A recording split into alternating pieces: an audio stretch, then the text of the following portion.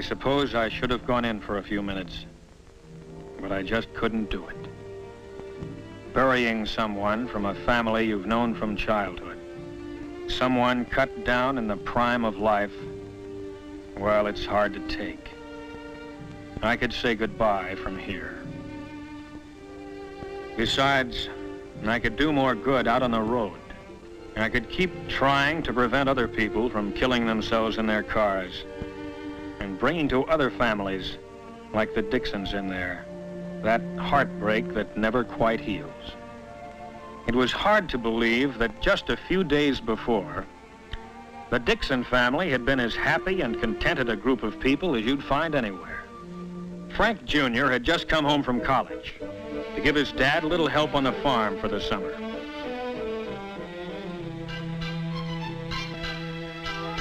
He was a chip off the old block, studying scientific agriculture at school and getting ready to follow in his dad's footsteps. Frank's girl, Betty Hutchins, had been waiting for him, of course. Everyone knew they'd be getting married before too long.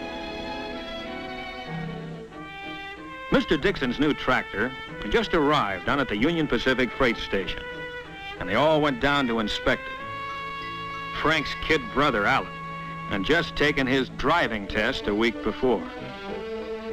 Alan sure wanted to drive his dad's new tractor, but until he actually received the license, Dad Dixon wasn't letting him on the highway, not even on a tractor.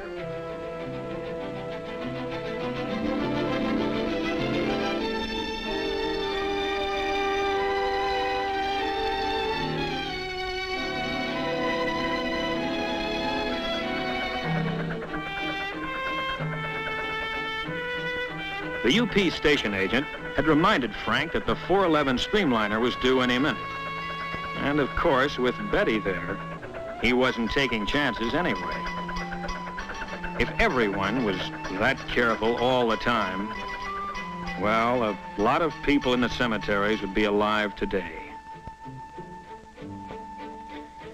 It was the next Monday that Alan Dixon's first driver's license arrived in a noon mail delivery. Boy, was he proud of that license. He couldn't wait to show it to his brother. After all, your first license is sort of a milestone. It means all the roads are now open to you. He was proud of the license, naturally. And just as naturally, wanted to make use of it on any errand that his dad or his mother or his grandfather could think of.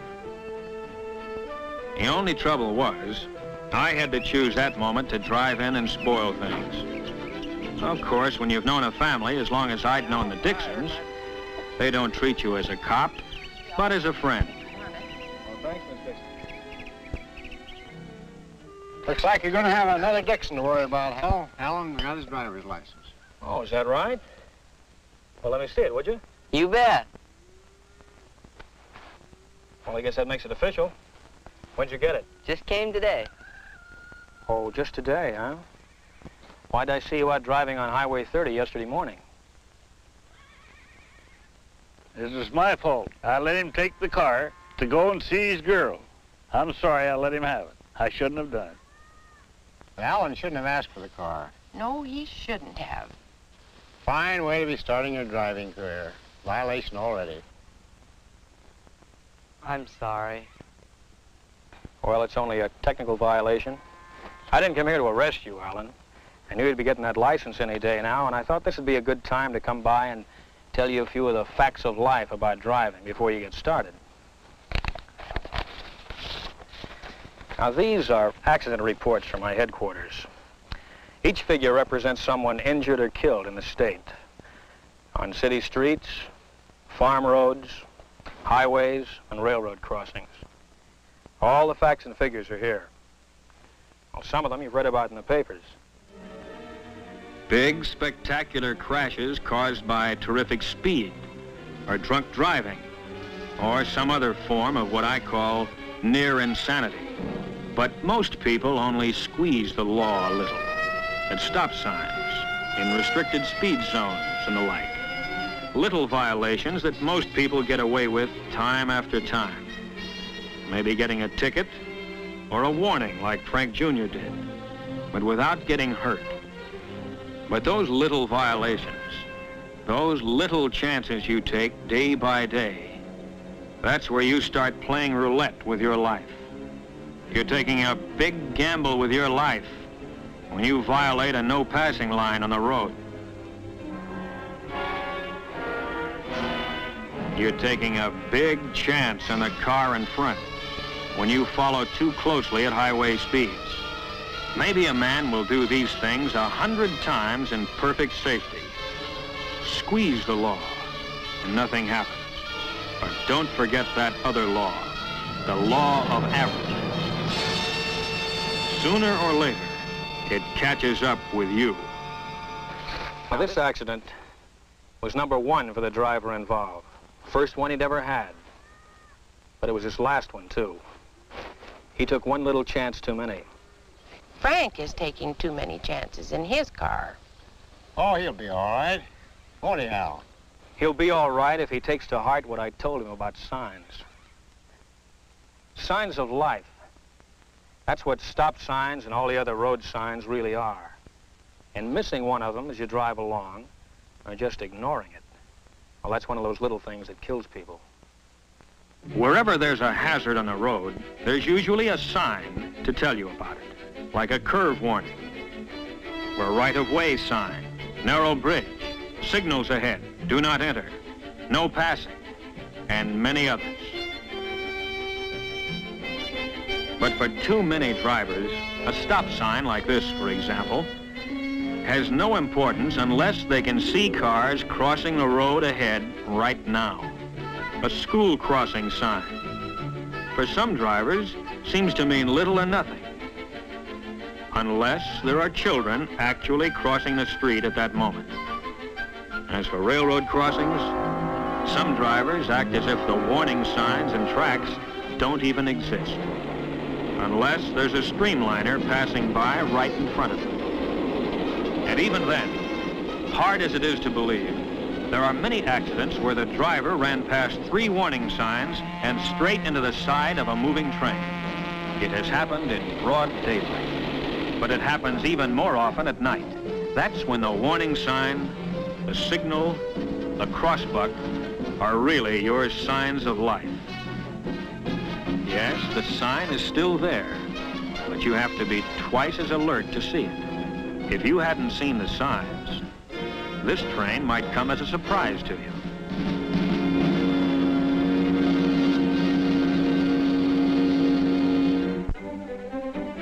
Traffic signs and signals that are so easy to see in the daylight become easier to miss as the sun goes down. Twilight is a dangerous time of day when things are half visible, half in deepening shadow. Main Street at night becomes a maze lights and neon signs, all competing with one another to catch your eye. But where's the traffic signal? Oh, there it is. Almost lost against the other lights beyond. Even the blinking red light of the railroad wigwag is hard to pick out sometimes. But night or day, these are your signs of life, whose purpose is to keep you alive. It's a strange thing, but some people actually resent traffic signs and traffic laws. How come? Cramps their style. They figure rules are for the other fellow, not for good drivers like themselves. Here's one like that. Robert Bainbridge. Bainbridge? From Meridian High? Yeah. Oh, I know him. I ran against him on the track team.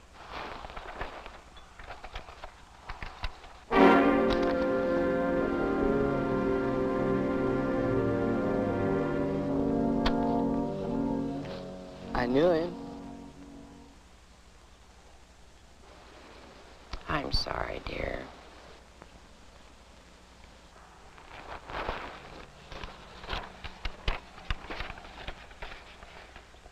Robert Bainbridge, age 17. Occupation, student. Place of accident, Lone Tree Road near Meridian. Date, June 2nd. Time 417. Weather clear and dry.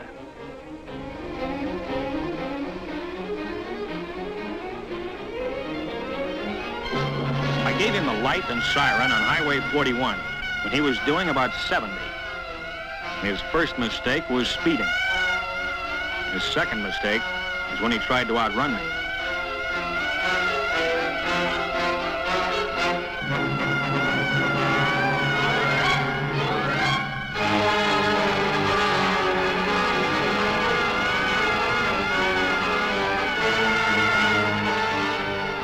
He turned off into Lone Tree Road.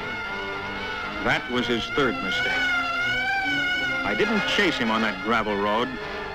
I didn't want him to keep up that speed on such a treacherous footing. I just followed along without the flasher or siren, hoping he'd realize what he was doing before it was too late. I lost sight of him around a turn. He took it way too fast for gravel.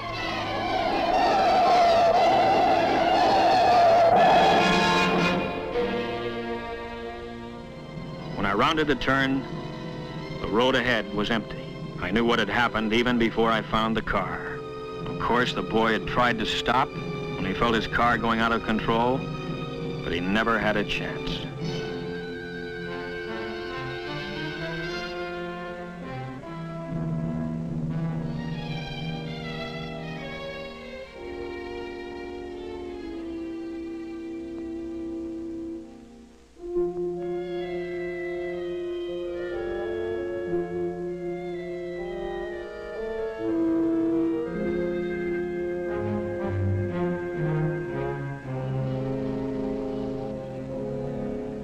I can't understand it. Why did he do it? You tell me.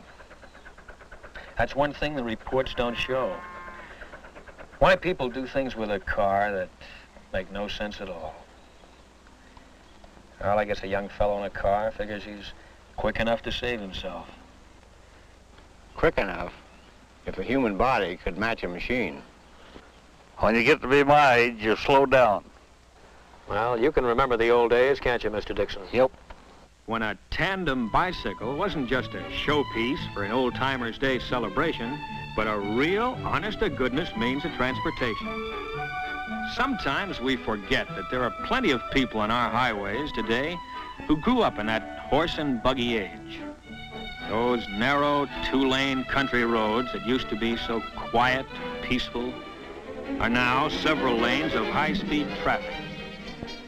The roads that used to wind gently around the hills now slice through mountains with nothing to slow you down.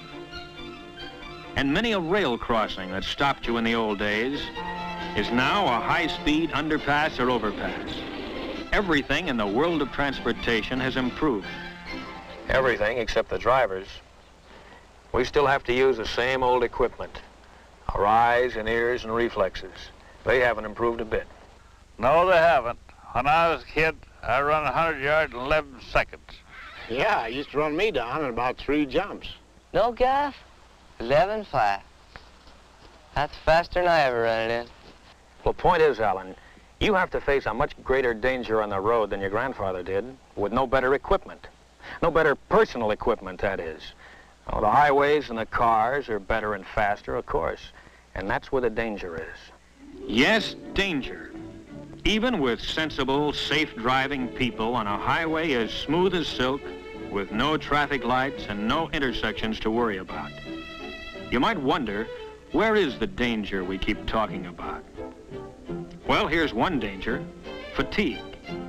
On long trips, fatigue is a big hazard. You should stop at least once every hour. Get out, stretch your legs, get those cobwebs out of your head.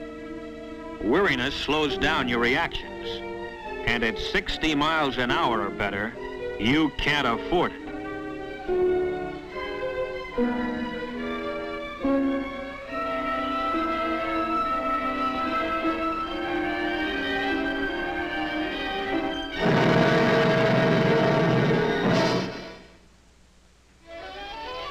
Here is still another danger. Lack of attention to the road. Sure, it's an open highway. Maybe there aren't many cars. But it only takes two to tango. 40% of all expressway accidents involve a car that has already stopped. On the road, part way on, or not far enough off. This is an invitation to disaster.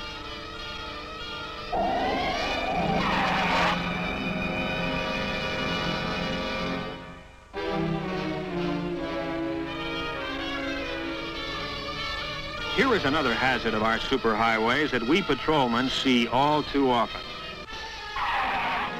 Every time you have to hit your brakes hard, ask yourself, why weren't you ready for the danger that suddenly developed?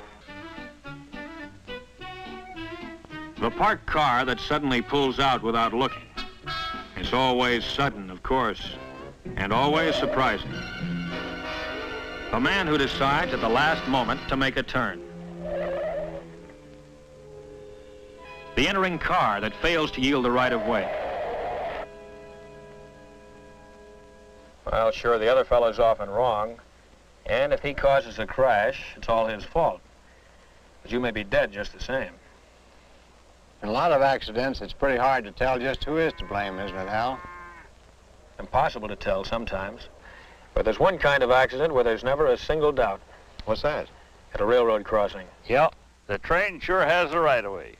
You know, the railroad's been here for almost four generations. Every farm family in these parts uses the railroad to ship their crops. We all like to ride the trains. But why is it so many people don't see the trains at the crossings?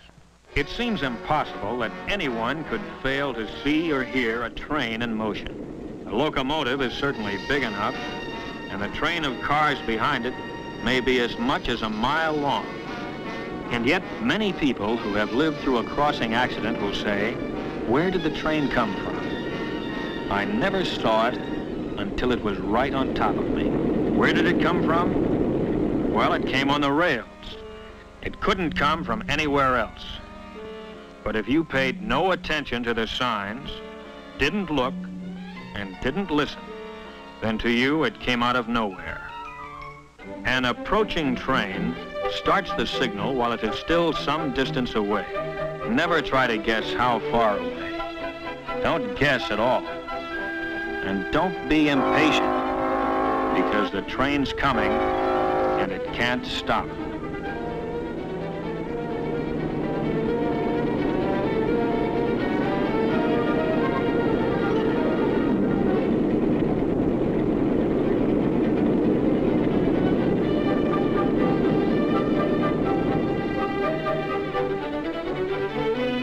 Signal in action means that a condition of fatal danger exists at this moment at this crossing.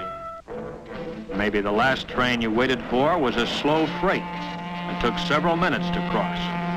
But the next one may be a fast freight, highballing to the coast on a tight schedule.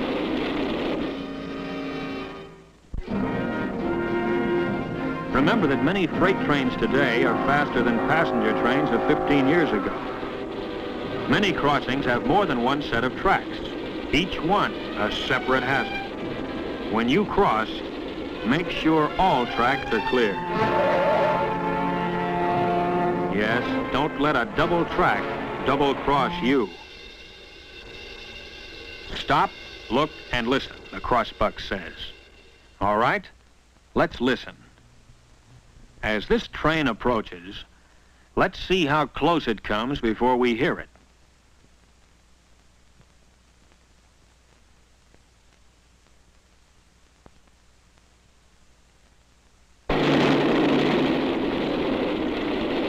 Now, where did that train come from?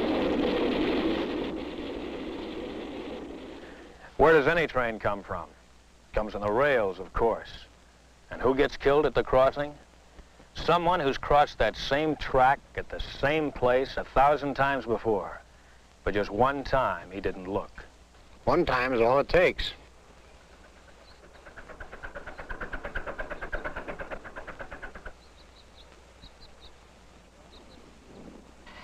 Please speak to Frank about his driving. It worries me. Okay, I will. I'll do it tonight. I surrender, Hal. I give up. What's the charge? No charge, Frank. I'm just giving Alan some free advice now that he's a licensed driver. Boy, I remember that advice you gave me the other day at the stop sign. Well, you keep it in mind. I will. Dad, Dad, can I take the car into town now? Okay, Alan, go ahead. But take it easy. Oh, I'll, I'll be real careful. Goodbye. He'll be all right. Look at the guy go. Hey, maybe we better go along with him, make sure he gets there all right. Okay, buy me soda. Okay, fine. Goodbye, everybody. Bye.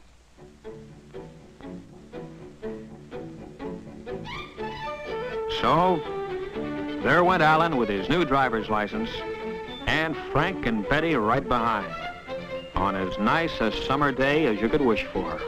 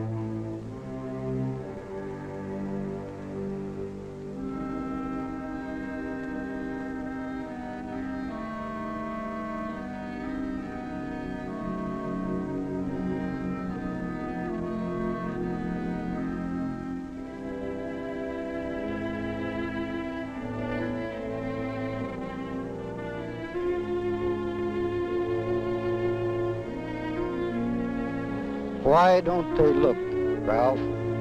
Tell me. Why don't they look? No, I didn't go in. Burying someone like young Frank Dixon is too hard to take.